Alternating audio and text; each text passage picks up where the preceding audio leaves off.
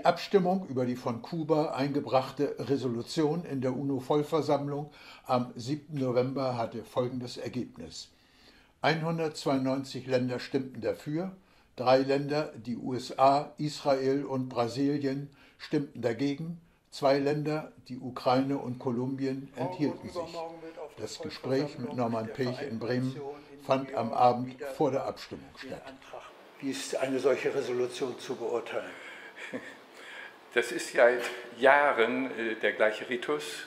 Immer wieder versucht die kubanische Regierung mittels der UNO eine Sperre gegen dieses Embargo, welches seit praktisch 1960 Kuba belastet, aufzubauen. Und es geht in den letzten Jahren eigentlich immer so, dass die übergroße Mehrheit dem zustimmt.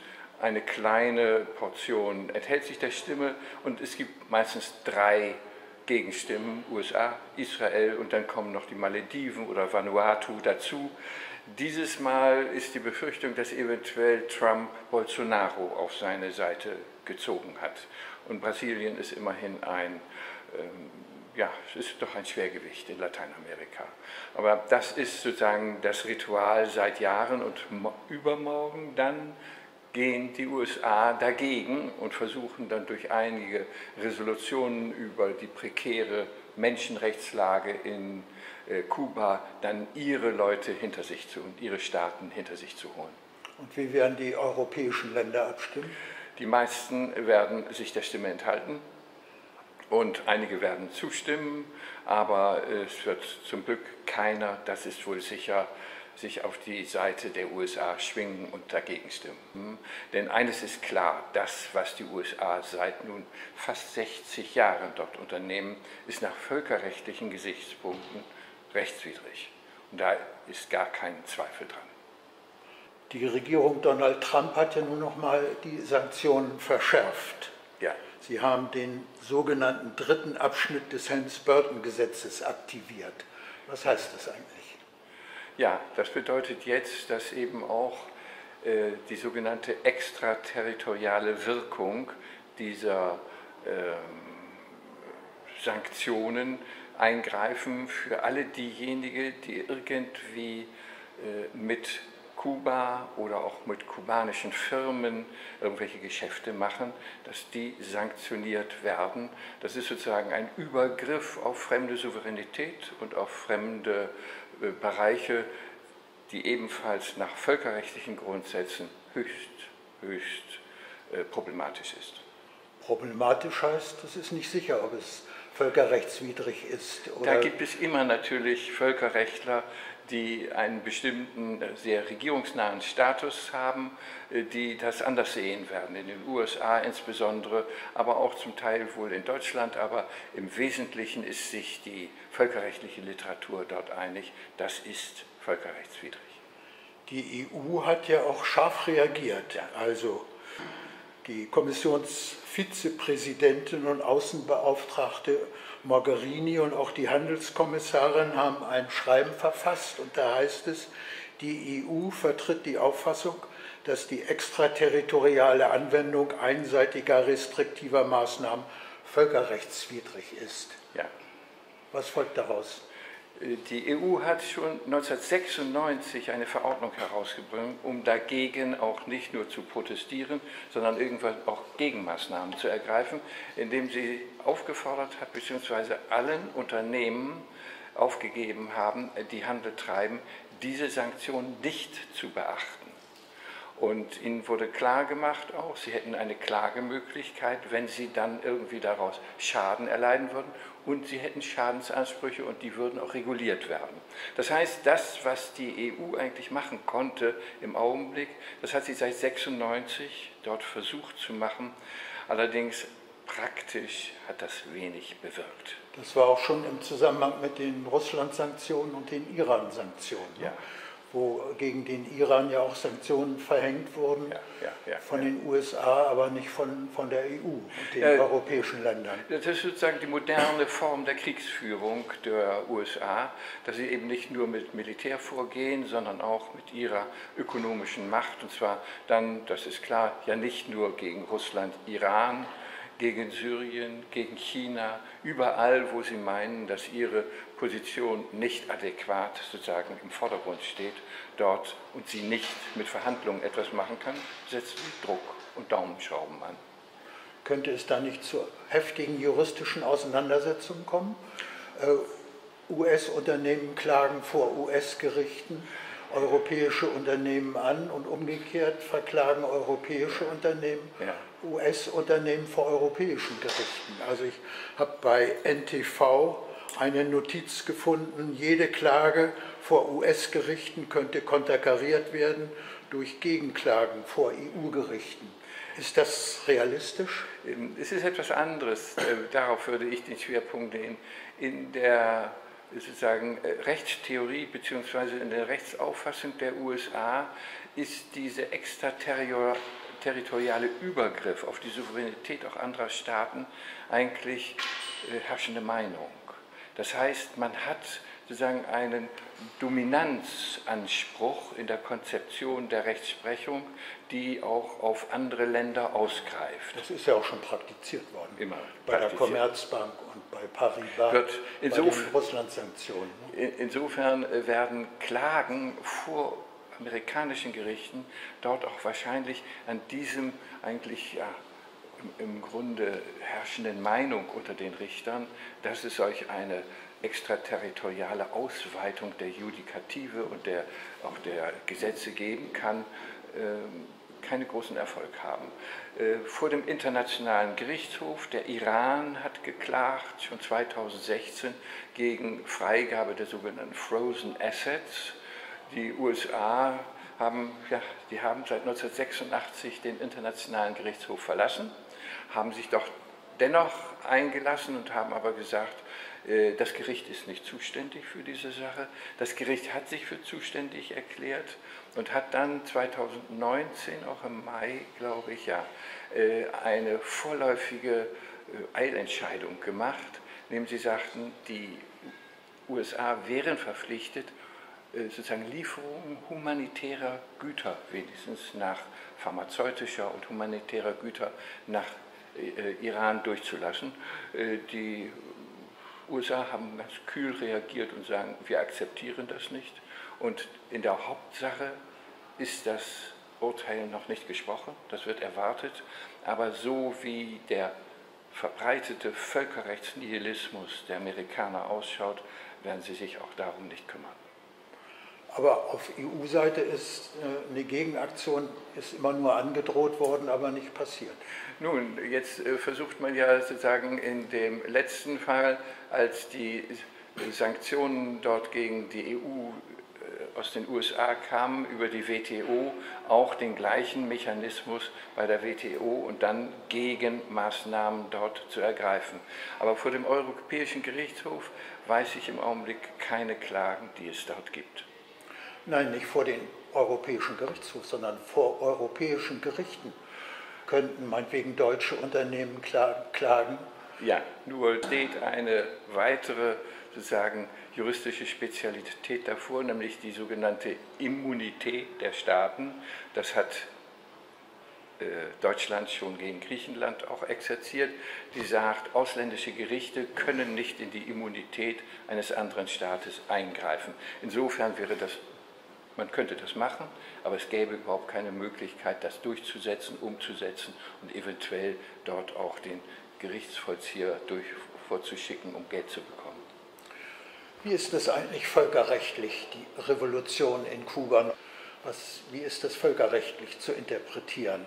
Und auch die dann folgenden Enteignungen, um die geht es ja jetzt heute ja, wieder. Ja. Ähm, völkerrechtlich ist das, äh, also Völkerrecht ist da äh, ziemlich cool und sagt, in dem Moment, in dem eine neue Regierung, die sich dort geputscht hat, äh, sozusagen die äh, politische und ökonomische und auch militärische Macht ausübt, wird, ist sie sozusagen die neue Regierung und kann anerkannt werden. Das über, äh, ist dann aber überlassen jeder einzelnen anderen Regierung eines Staates, die anzuerkennen oder nicht.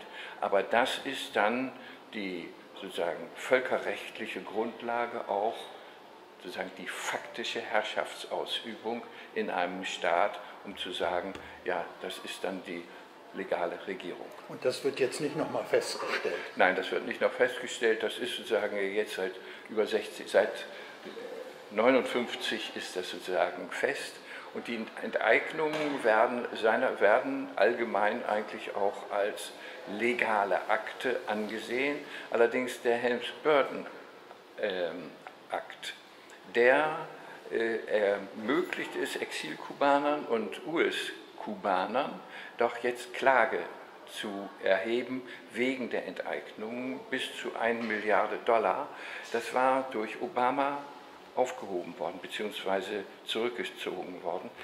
Ab ja, Mai das ist doch jetzt der Kern dieses dritten Abschnitts, ja. dass der jetzt in Kraft gesetzt wird.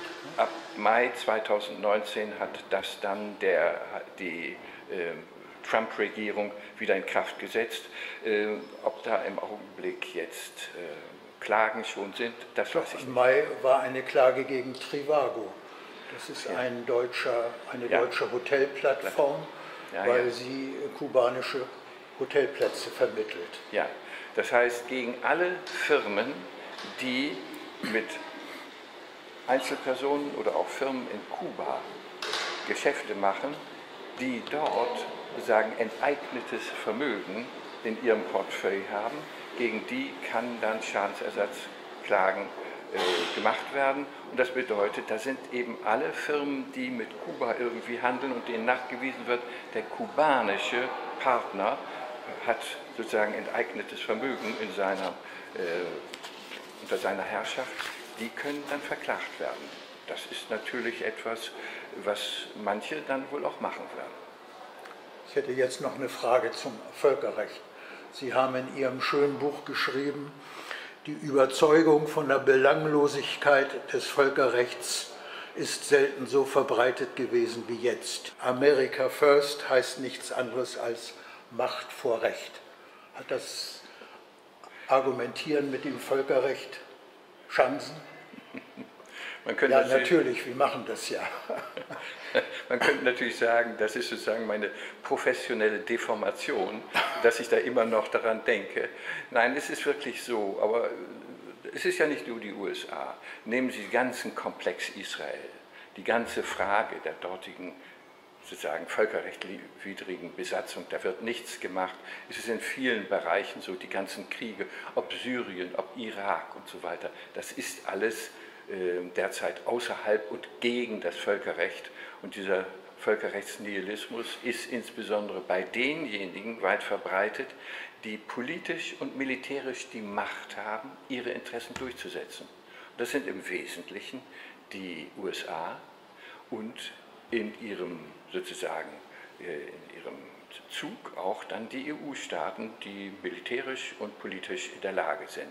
Und das ist eine äh, wirklich fatale Entwicklung, der man immer nur wieder entgegenhalten kann, weil man nicht mit den gleichen Mitteln antworten kann.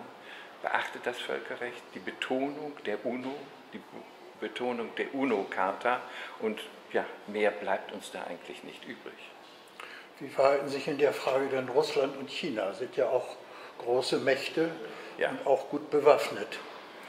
Achten Sie das Völkerrecht oder spielen Sie das Spiel mit Macht vor Recht? Äh, da ist ja der berühmte Fall Krim.